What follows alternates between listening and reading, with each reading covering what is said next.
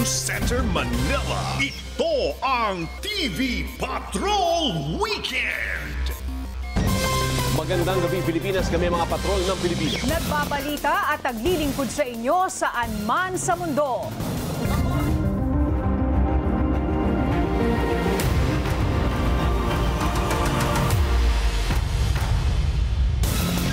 Kapamilya, matapos ang halos dalawang taon ng pandemya, aalisin na ang mga restrictions sa mga establishmento at pagbiyahe ngayong ibababa na sa Alert Level 1 ang Metro Manila at 38 pang lugar sa bansa.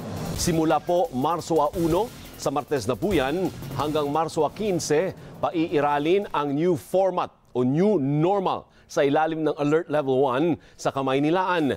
Ibababa rin sa pinakamababang alert status ang Cavite, Laguna at Bulacan at malaking bahagi ng Luzon. Isa sa ilalim din sa Alert Level 1 sa Marso. Ang anim na lugar sa Visayas, ang Aklan, Bacolod City, Capiz, Guimaras, Siquijor at Biliran.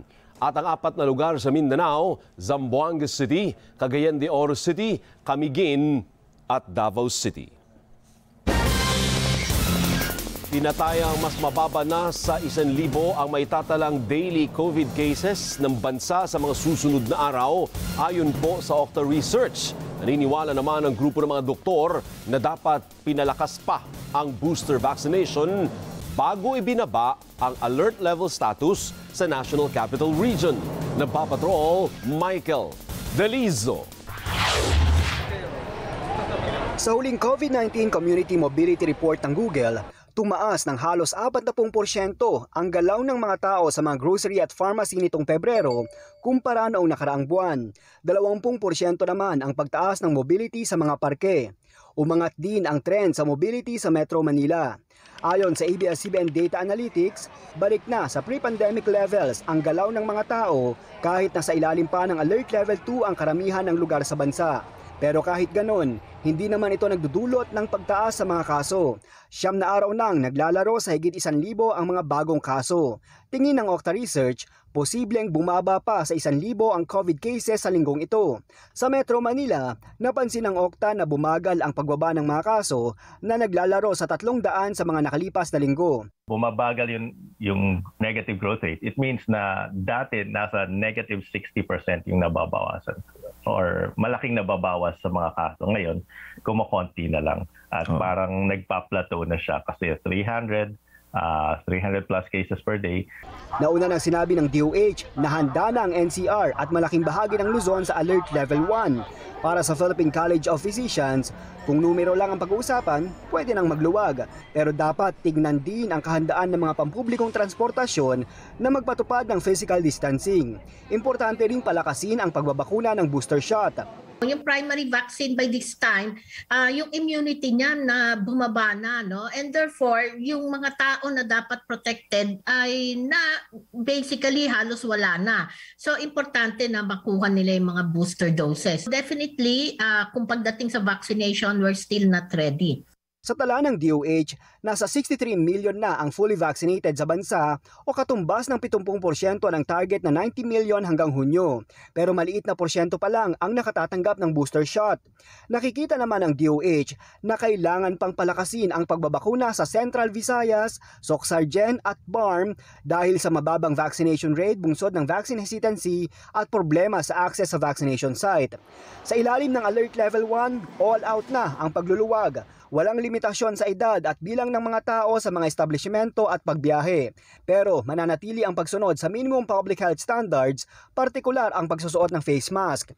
Ang mga business establishments naman, kailangan pa rin ng safety seal certification ayon sa DTI.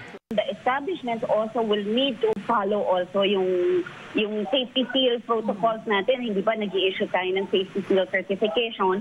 Makikita ng consumers na yung mga safety seal na yun, yung mga establishments na merong certification, sigurado sila na na sumusunod yung establishment na yun at magiging kumpiyansa sila at na safe sila. Pero aminado ang DTI na mababawasan na ang itinakdang isang metrong physical distancing dahil papayagan na ang 100% operational capacity ng mga negosyo. Hindi naman agad palalawigin ang oras ng number coding sa Metro Manila mula sa kasalukuyang alas 5 ng hapon hanggang alas 8 ng gabi para sa mga pribadong sasakyan. obserbahan po natin yan. It may take uh, three days to one week for us to get a volume count kung ilan po talaga yung lalabas. Pagtitiyak naman ng MMDA na malabo nang ibalik sa buong araw ang number coding tulad noong bago ang pandemya dahil iba na ang istruktura ng EDSA ngayon. Michael Delizo, ABS-CBN News. Nakapagtala ang Department of Health ng 1,038 na bagong kaso ng COVID-19 ngayong araw. Ito na po ang pangalawang pinakamababang daily cases ngayong taon. Sa kabuuan, mahigit 3,661,000 ang bilang ng mga kaso sa bansa. Mahigit 52,000 ang active cases na pinakamababa simulan noong January 5. 51 naman ang dagdag sa mga namatay sa sakit para sa mahigit 56,000 total COVID deaths. 1,999 naman ang mga bagong gumaling. 5% po ang positivity rate na pinakamababa ngayong taon at simula December 27, 2021.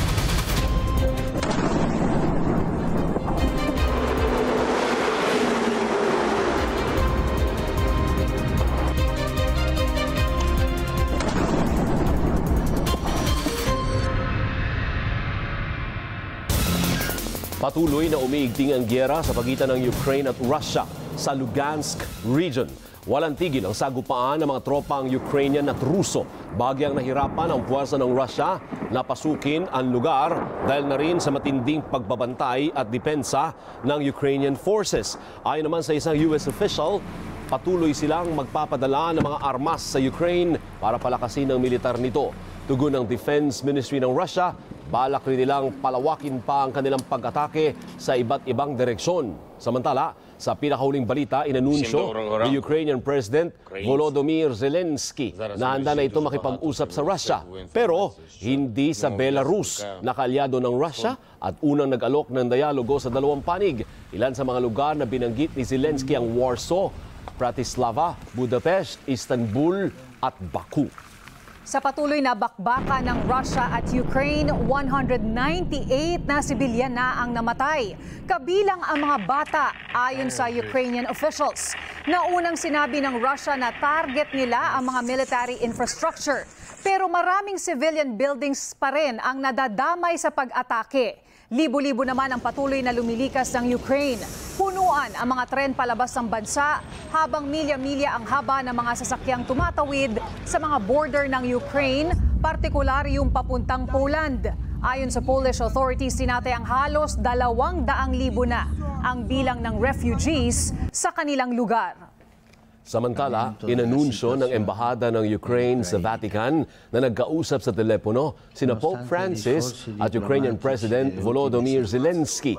Hindi din Italia naging pag-uusap nila pero nagpahayag umano ang Santo Papa ng labis na kalungkutan sa nangyayari. Sa isang tweet, nagpasalamat si Zelensky kay Pope Francis sa pagdarasal nito para sa kapayapaan. Ramdam aniya ng mga taga-Ukraine ang spiritual support ng Santo Papa.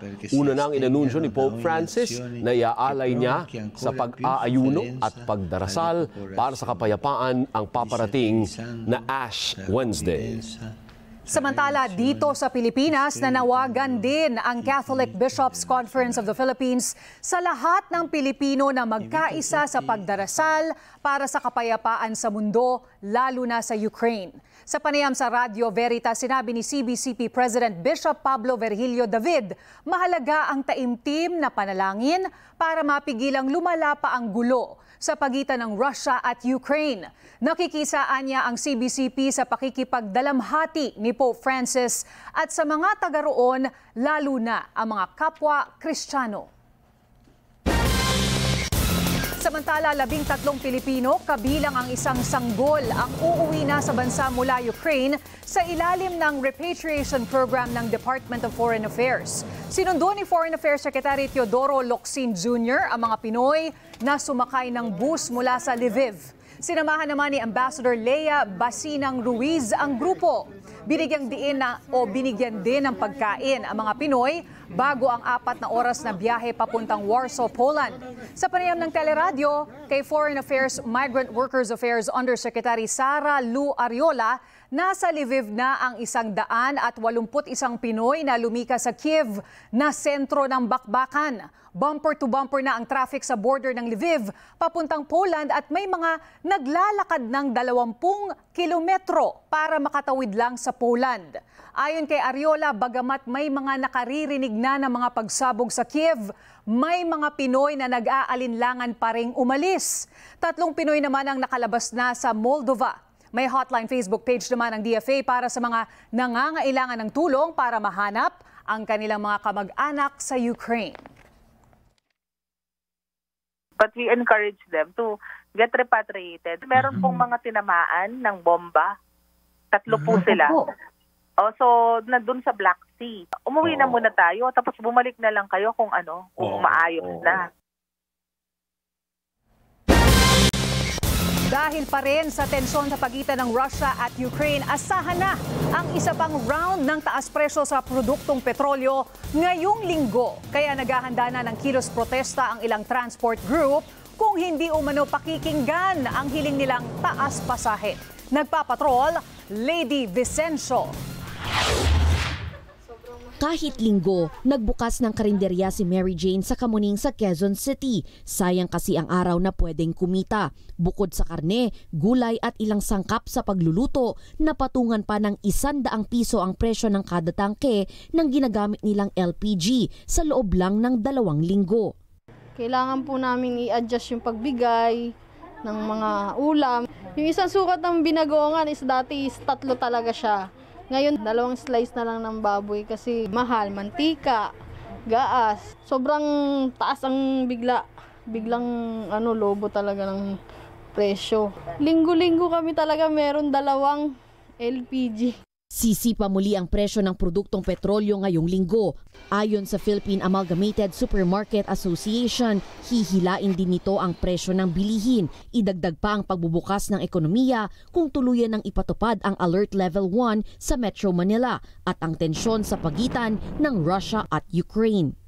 Mukhang all uh, factors point to the fact that uh, wait, that uh, yun na, talagang tataas ang uh, presyo ng mga bilihin, di ba? So I don't know if we'll have to adjust some more. Yun ang nakakatakot, no?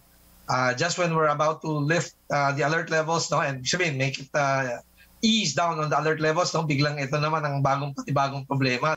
Sa panayam sa teleradyo, nag-abiso na rin ang Canned Sardines Association of the Philippines na tataas ng 3 piso ang presyo ng sardinas. Nauna na ang premium sardines sa taas presyo. 70% of the cost of fish is really fuel eh. Yung, Yeah. yung ang nangyayari sa amin dahil you, you need the fuel to catch fish. Kung hindi ka may pagbibigyan, uh, some of the canneries uh, may have no choice but to shut down rather than lose more money. Para naman sa Laban Consumer Incorporated, dapat pag-aralan ng gobyerno kung paano nito matutulungan ang mga consumer. Saan kukunin ni consumer yung 3 piso pandagdag sa sardinas nyo? Totoo, hanggang ngayon eh, wala namang malinaw na may tulong eh. Kung meron mang mga agenda na price increases sa eh, sa TV muna, hindi na papanahon. At uh, anti-consumer. Pasanin ngayon ng mga mamimili ang tuloy-tuloy na pagtaas ng presyo ng mga bilihin lalong-lalo na sa mga hirap kumita ngayong pandemya. Tulad na lang ng mga tsuper sa Metro Manila na humihingi na rin ng dagdag pasahe. Wala ng 500 piso ang naiuwi ni Tatay Reynaldo sa kanyang pamilya dahil sa laki ng gastos niya sa krudo ng jeep. Para sa kanya at sa transport groups, panahon na para pakinggan ng LTFRB ang hiling nilang dagdagan ng piso ang minimum fare sa Metro Manila. Kung makapagsakay ka ng 300 na pasahero sa isang araw, 300 pesos din yun. Kaya yun na yung idadagdag mo doon sa krudo mo.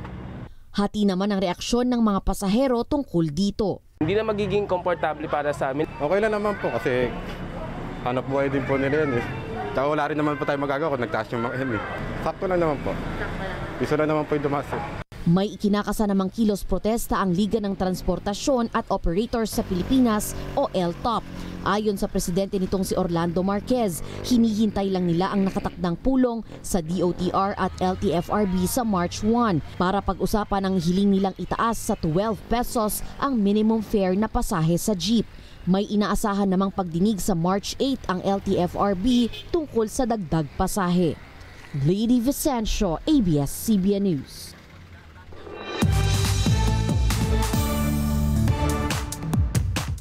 Kaliwat kanan ng mga collaboration ng Pinoy artists para sa mga international project.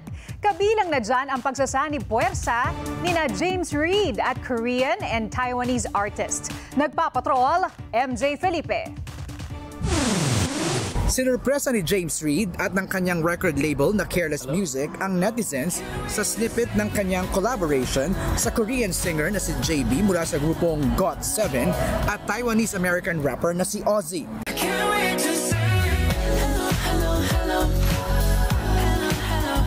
Remix version ito ng nakatakdang ilunsad sa March 11. Kasunod ito ng balitang biyaheng Hollywood na si James na agad namang nilinaw ng kanyang ama na kaya nasa Amerika si James ay para sa ilang proyekto. Nagsanib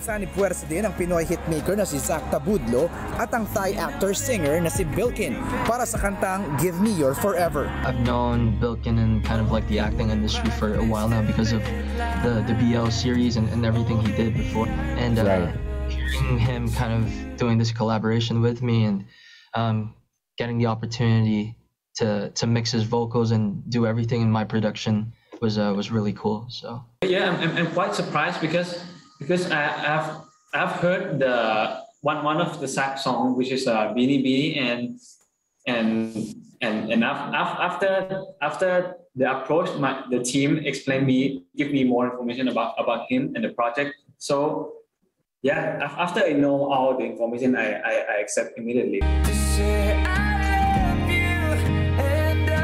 Bukod sa collab project, kumahataw si Zach ngayon sa kauna-unahang Hits of the World Philippines chart ng Billboard. Apat na pwesto ang inakupa ni Zach, kabilang na ang top spot para sa kanyang kantang Pano. Balik naman sa kanilang mega hit concert collaboration sina Sharon Cuneta at Regine Velasquez Alcacid para sa iconic US tour. Ito ang balita ni Songbird pagkatapos ng kanyang contract signing sa Kapamilya Network noong Huwebes. Kami ni Mega, may concert kami ulit. June, dito, meron dito. There- We have one here for the iconic concert. Yun kasi, dream come true yun sa akin to sing with Miss Sharon, who's my idol. Pero may isa pa siyang wish pagdating sa concert scene. Siguro, to work with Gary in a concert again, or even Leia. Kasi I've never worked with Leia in a concert before. Kasi parang ABS lang yung kayang gumawa nun. MJ Felipe, ABS-CBN News. Sugatan ang mayor ng Infanta Quezon matapos pagbabarilin kaninang tanghali. Isinugod sa Claro M. Recto Hospital si Mayor Filipina Grace America. Ayon kay Quezon Governor Danilo Suarez, nasa loob ng sasakyan ang alkalde at paalis na ng simbahan ng pagbabarilin. Kinundena naman ni General Luna Mayor Matt Erwin Florido ang pamamaril. Nanawagan siyang ipanalangin ang kondisyon ni Mayor America na tumatakbo muli bilang alkalde. Bumuo na ng Investigation Task Group para imbestigahan ang kaso. Inaalam pa ng pulisya kung may kaugnayan sa halalan ang pamamaril. Sa ngayon po, ah, nagsagawa po tayo ng nagbuo tayo ng ano po ng SITG, Special Investigation Task Group upang alamin ah, ang motibo, yung pagbaril kay Mayora. Sa ngayon po ay continuous po ating follow-up operation na sinasagawa Dalawang araw bago ang Fire Prevention Month, nasunog po ang isang daan at limampung bahay sa Cavite City. Alas 4 na madaling araw, kanina na sumiklab ang apoy sa Barangay 10B sa Aplayang Munti. Ayon kay Cavite Provincial Fire Director Superintendent Rene Bulios, dikit-dikit at gawa sa light material sa mga apektadong bahay. Pinalala pa ang sunog ng malakas na hangin. Napula ang apoy bandang alas 6 ng umaga. Wala naman nasaktan sa sunog. Noong Pebrero at 12, mahigit isang daang bahay din po ang naabo sa ilang barangay sa Cavite City.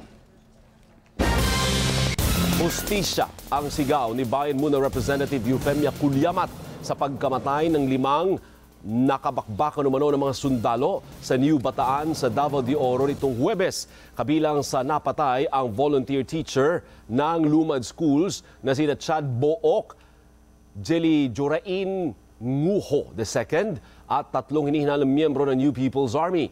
Nanawagan si Gulyamat na masusing investigasyon sa nangyari sa kanila. Kinundi na rin ng Save Our Schools Network ang pagpatay sa lima.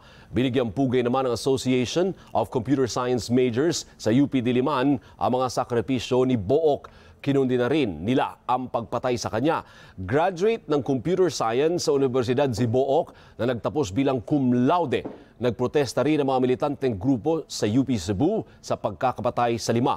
Kabilan si Book sa mga inaresto noong Pebrero 2021 sa Bakwit Schools sa San Carlos University Talamban Campus sa Cebu City dahil umano sa trafficking ng mga katutubo ng Talaingod Davao del Norte. Nakalabas din sa kulungan si Book kasunod ng utos ng korte. Pero gate na militar, patunay ito na pugad ng mga rebelde ang ilang lumad schools sa Mindanao.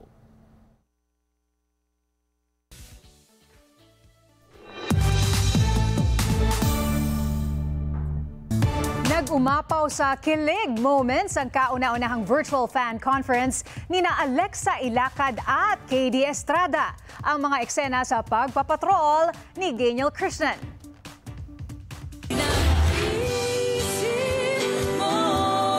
Puno ng kantahan at kilig ang Saturday night virtual fancon ni na Alexa Ilacad at KD Estrada o mas kilala bilang KD Lex sa Closer the KD Lex Fancon. Todo pasalamat ang dalawa sa suporta sa kanila matapos ang Pinoy Big Brother stint.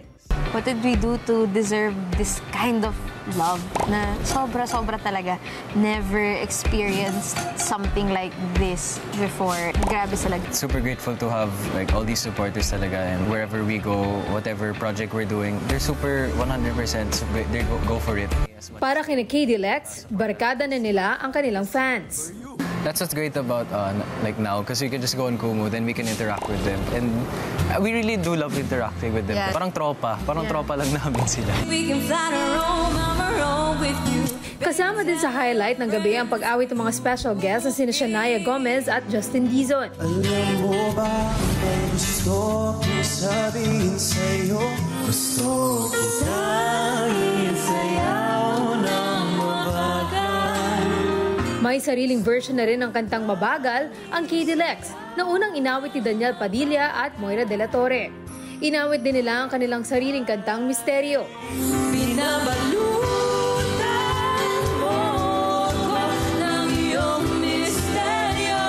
Solo namang inawit ni KD ang mga original niyang compositions na sa puso mo, Alam ko na malayo na ako sa iyong yakap at lambing at Saves It, No, she doesn't need a one hug or a hand to hold na sinulat nung 17 years old pa lamang siya.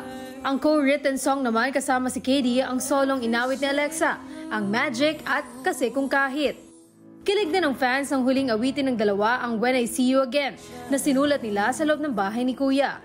Naging parte na rin ito ng musical scoring ng Pinoy Big Brother Adult Edition. Sa paparating na summer, bibida naman ng KD Lex sa kanilang first team up sa isang serye. Gino Krishnan, ABS-CBN News.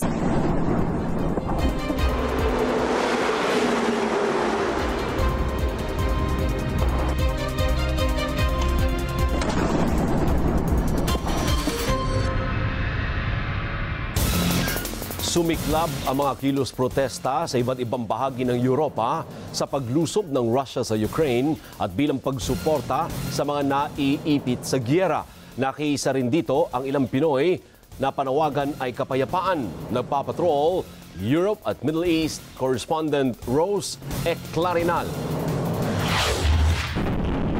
Habang pinapaulanan ng Russia ng missile ang Ukraine nitong mga nakaraang araw, nagpaulan din ng sanctions ang ilang bansa gaya ng UK laban sa Russia tulad ng pag-freeze ng assets sa lahat ng major Russian banks kasama ang oligarchs sa UK at pag-ban ng high-tech exports.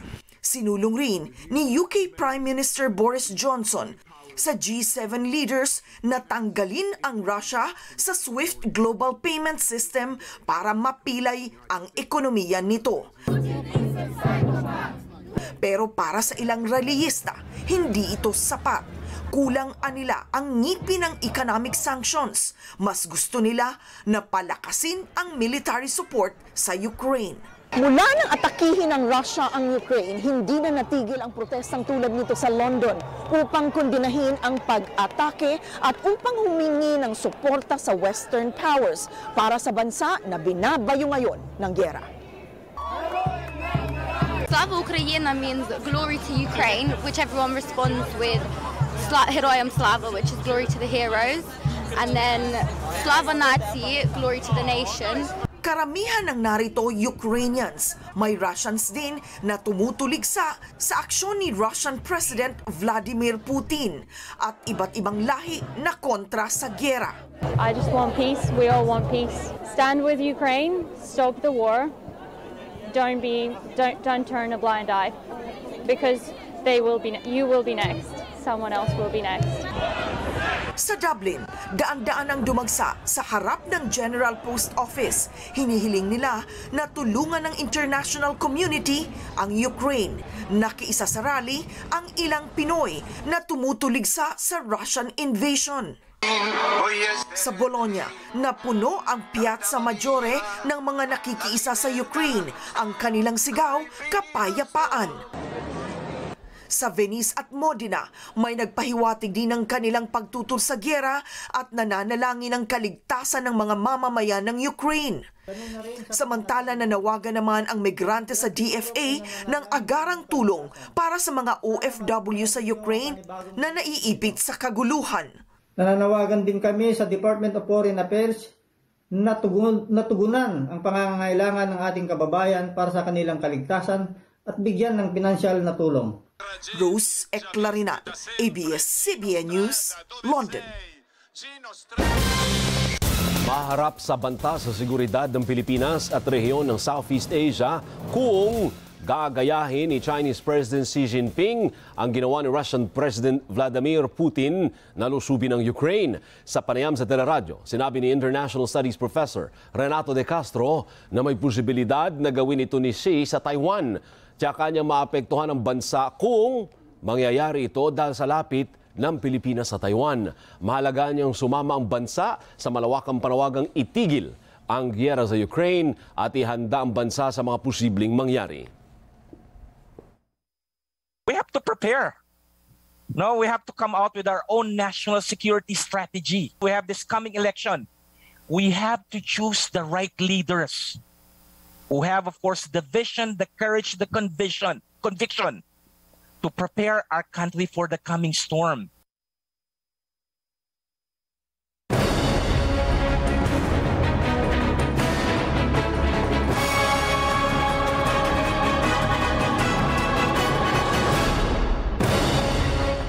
Nagtipon ang mga health worker na sumusuporta sa tambalang Lenny Robredo at Kiko Pangilinan sa Quezon Memorial Circle sa Quezon City para sumali sa motorcade. Pagkatapos ng motorcade, nagsagawa sila ng programa sa Welcome Rotonda. Isinusulong nila ang mas maayos na healthcare system sa bansa. Nais din nilang matugunan ang kawalan ng trabaho, mga problema kaugnay sa security of tenure, kontraktualisasyon, agrikultura at maging ang sigalot sa West Philippine Sea. Sa kabilang bahagi ng mundo, lumahok sa Unity Walk sa New York City ang mga Filipino-American na sumusuporta sa tambalang Lenny Kiko. Sa ilalim ng batas, pinapayagan ng mga rehistradong botanteng Pinoy sa abroad na makaboto bilang overseas voters. Naglakad sila mula 58th hanggang 70th Street sa bahagi ng Roosevelt Avenue sa Queens na mas kilala bilang makasaysayang Little Manila. Si Lenin makatao, makadiyos at hindi kurap. At sa mga nakikita ko ngayon sa campaign sa Pilipinas, na kami dito nakamonitor sa Amerika, nakikita namin na karami yung sumusuporta kay Lenin. Well, this is the fight of our lives. If we make a bad decision during the elections, it's going to be six years, giving someone so much power to destroy the country. So this is really the fight for the soul of the Philippines. So please make sure you vote right, and please make sure to use your conscience when you vote. Sa budget reform advocacy ang End Village Empowerment Program ng Lacson Soto Tandem ang mga karinderya at mga tindera. Sa ilalim ng kanilang BRAVE program, direktang makatatanggap ng tulong mula sa gobyerno ang mga may-ari ng karinderya at iba pang tindera sa palengke at maging sa mga bangketa. Ipatutupad ito sa pamamagitan ng mga lokal na pamahalaan. Ayon kay Presidential Candidate Ping Lacson, bukod sa ayudang pinansyal, hahasain din ang kanilang kaalaman teknikal para mapaunlad ang kanilang mga negosyo. Abala naman sa pag-iikot sa Pangasinan si Partido Federal ng Pilipinas Presidential Bet Ferdinand Marcos Jr. Nagpapatrol, Anzo Bagawisan. Ngayong linggo ng umaga, umarangkada ang kanyang campaign rally sa bayan ng Rosales. Lumipat siya sa hilagang bayan ng San Nicolas at sinuyod pababa sa motorcade ang pitong bayan at lungsod, kabilang ang Tayug at Urdaneta. Noong 2016, nakuha ni Marcos ang 60% ng boto sa Pangasinan para sa pagka-vice presidente kahit natalo. Dagsa sa kalsada ang kanyang mga taga-suporta hindi pa nga kami nag-almusal, pumunta na kami rito. Tagabang. Gusto namin siyang manalong maging presidente, sir. Mahal na mahal namin si BBM. Para kumunrad na rin yung kwan, bansa natin. Malaki pong may tutulong niya.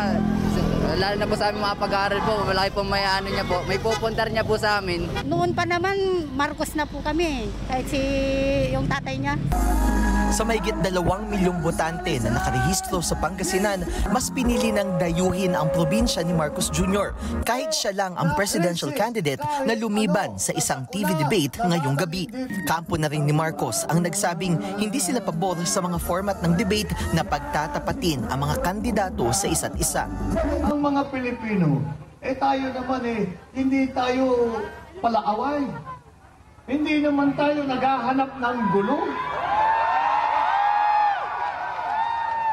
Hindi natin pinupuntahan yung mga tao sinasabi, mali kayo, kami lang ang tama. Eh, hindi po tayo, ang hinahanap lang ng Pinoy, ng Pinoy, simple lang, magkaroon ng disenteng buhay.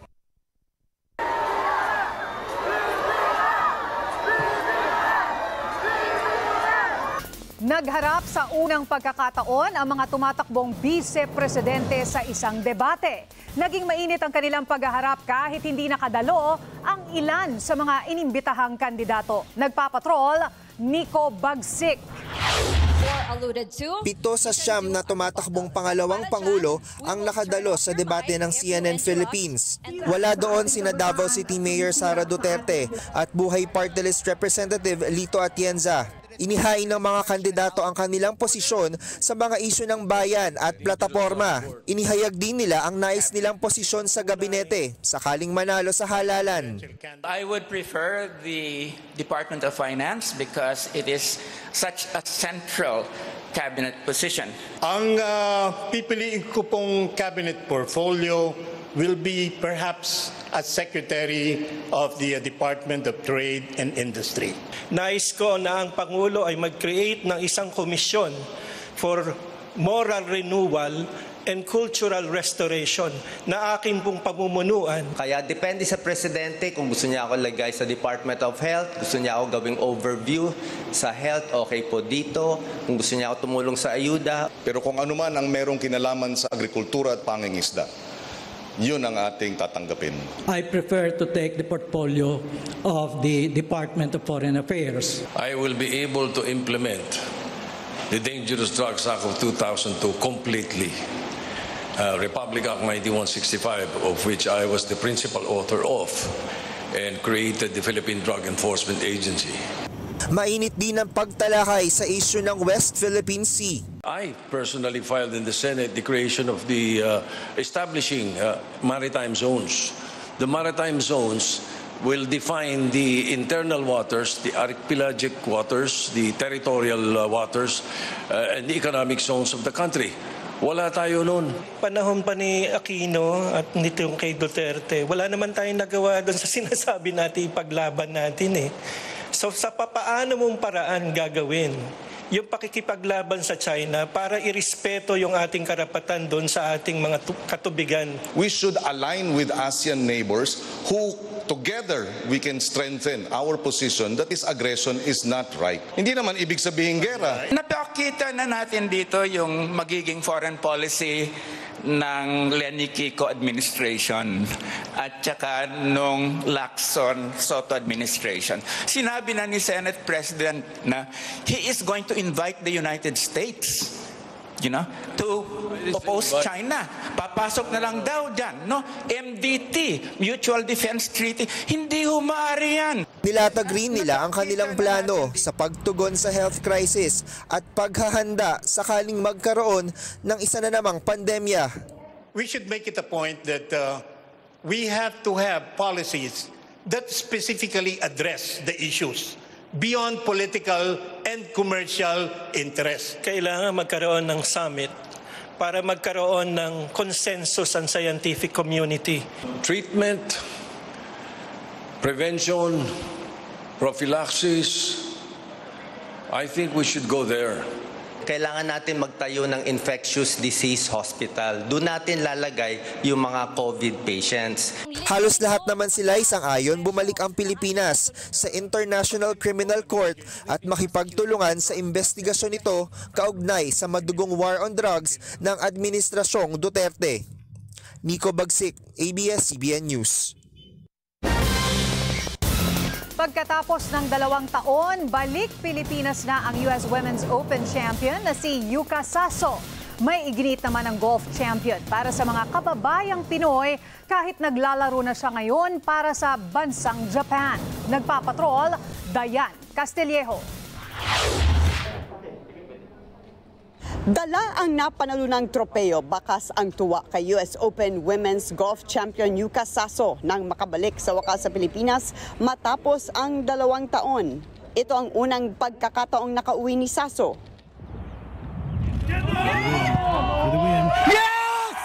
Matapos gumawa ng kasaysayan bilang unang Pinoy champion sa isang golf major tournament sa Amerika. Mananatili muna si Yuka sa Pilipinas para mag-practice at bisitahin ang kanyang mga pamilya bago sumabak sa LPGA Tour sa Singapore at Thailand. It feels great. Uh, magdadalawang taon din po hindi nakauwi. So, Uy. sobrang happy po. Opo. So nakakapag-practice ka na like since you've been here I suppose. Kumusta naman yung adjustment mo with the conditions dito sa Pilipinas? Um, first few days po medyo jet lag. Nagkita na po kami ni Lola, and tita ko, tita ko. So, super happy. Uh, even though it wasn't long time, but nakapag-usap naman po kami. And also, yes, I ate Filipino food and super sarap. Ano, ano ba yung favorite mo? Sinigang po. Number 7 na ang world ranking ni Saso pero aminado ang golf champion na marami pa rin siyang kailangan matutunan. How many tournaments do you have in your schedule for the LPGA Tour? So minimum events uh, for this year will be 20 and I think I'll play 25. Nobyembre 2021 nang ianunsyo ni Saso na bilang dual citizen ay pinili niyang maging Japanese citizen. Simula ngayon 2022, nagsimula na siyang maglaro para sa bansang Japan. Pero iginiit niyang hindi mawawala ang kanyang pagmamahal para sa Pilipinas. I'm super proud of being half Japanese, half Mm-mm. Filipino, and that will never change. Yeah. And despite of you know any citizenship I have, um, and you know the main uh, reason for for me to change citizenship is the ease of travel. Mhm. Um, it reduces my time to get a visa Mm-mm. um, and all that. So, um, well, I talked to my family, and we all agreed that um, you know changing, switching to Japanese. I mean, my Philippine passport will I'll, I still have it. Yeah. um, just that I have to use, I have to choose in Japan side. Um, and right. yeah, I just had to make that decision for my career. Uh, sa lahat po ng Filipino fans, uh, maraming salamat po sa pagsuporta sa amin. Uh, golfers in America, kami po nila, Ate Bianca. Um, sana po, uh, supportahan niyo pa po kami patuloy-tuloy and we'll make, uh, hopefully we can play good golf and make you all proud. Labis din ang tuwa ni Sasso nang bigyan ng special stamp ng PhilPost bilang pagpupugay sa kanyang tagumpay. Diane Castillejo, ABS-CBN News. Alert level 1 na sa Marso sa maraming lugar sa bansa. Balak mo bang makabawi ng biyahe o mag-revenge travel matapos matenga sa bahay ngayong pandemya? Ay opo, pwedeng magbutanding watching sa Dunsol o kaya'y puntahan ang binansagang Maldives of Sorsogon. Nagpapatrol, Jose Caritero.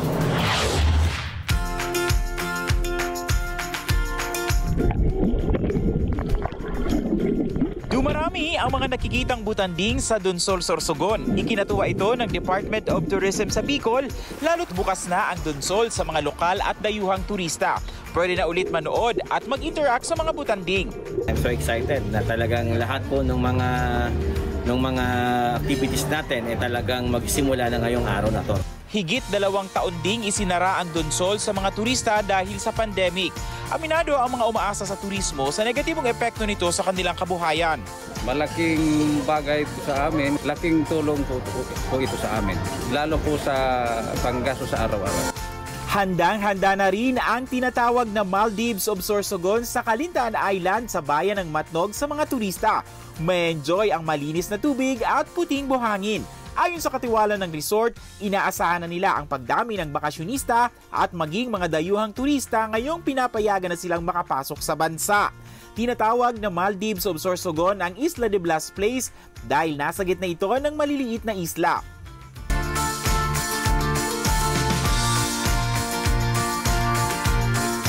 Sa Kamalig Albay, handa na rin ang mapasyalan gaya ng Mala Chocolate Hills na tanawin sa Eco Park.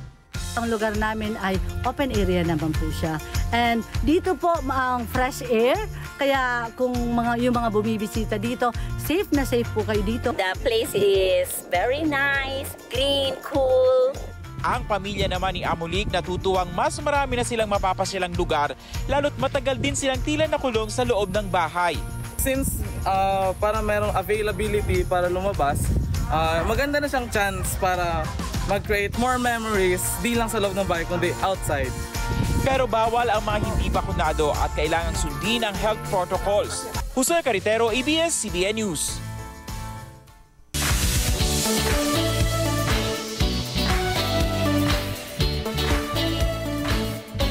Kapamilya, bida sa social media magkapatid mula Japan dahil sa kanilang mga nakakaaliw na Japanese language tutorial videos. Gumawa rin sila ng Japanese versions ng ilang kilalang Filipino songs. Ang magkapatid na bida sa social media sa pagpapatrol ni Jeffrey Hernandez. Aso Inu Pusa Neko Manok Niwatori gusto nyo bang matuto ng Nihongo o Japanese language? Enero, 1月, Pebrero, 2月. Mula sa pagsabi ng oras. Alauna, 1 alas 2, 2 alas 3, 3 Pagturo ng direksyon. Kanan, migi, kariwa, hidari. At mga linyang pampakilig. Gusto kita. Suki desu.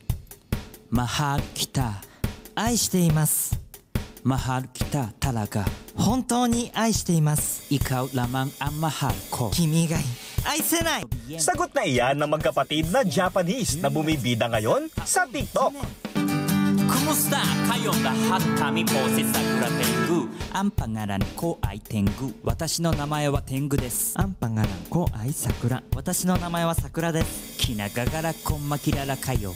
Mga musikero sa Japan ang magkapatid at sinimulan ang kanilang TikTok account nito lang Enero. Nagulat na lang sila na umabot agad sa mahigit 230,000 ang kanilang followers. We have been working uh, as musicians in Japan since 20, uh, 2010. By watching our own videos, uh, we also learn the Filipino language. yes, I want everyone to study happily and funny. Ayon sa magkapatid, ginawa nila ang mga nakakaaliw na Japanese-Filipino translation video tutorials dahil gusto nilang maibahagi ang kanilang kultura at matuto na rin ng Filipino. We really appreciate Filipinos um, because there are many great songs in the Philippines and comments from Filipino are so kind, very kind.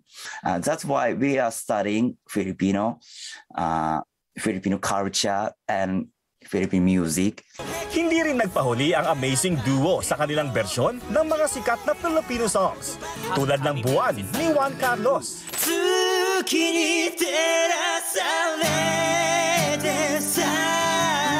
At ikaw ni Yeng Constantino.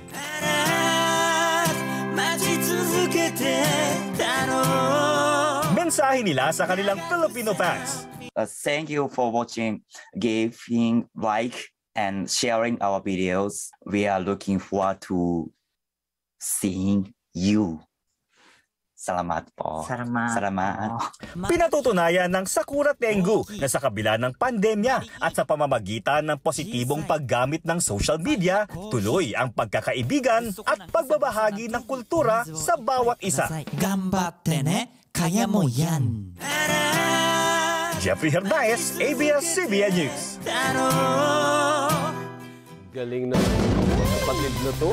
Nakakamiss tuloy yung Japan partner. Ano, akala ko may dugong Pinoy. Apparently wala. Talagang inaral nila yung kultura at kanta natin. Tsaka nakakatuwa lang ano, yan yung mga advantage ng social media. Nawawala yung borders. Yes. So dahil lang doon sa kanilang channel, may nakilala silang Pinoy. Tsaka At informal, ma-exchange no? ng kultura, di ba? Informally, oh, through social media. Kasi pag pinag-aralan mo yung Japanese language, Yes. formal yun, di ba? Ito parang informal, fun Oo. way. learning. Ha? Higari. Hike, arigato. Tonkotsu? Torikatsu? Yan ang ulamin ko mamaya. Yung katsu pala. Dali ah. At yan ang mga balita. Pero ikaw, nagpaparinig ka, partner, ha? Nakalib ako ah. Sinagot mo yung tanong kanina kung gusto mag-revenge travel. Kinakabahan tuloy ko na. ni Mariel. Bukas. Mariel, oh. Leave. At yan ang mga balitang nakalap sa aming tuloy-tuloy na pagpapatrol. Ako po si Zen Hernandez. Ako po si Alvin L. Chico. Nandito kami, lilingkod para sa inyo saan man sa mundo.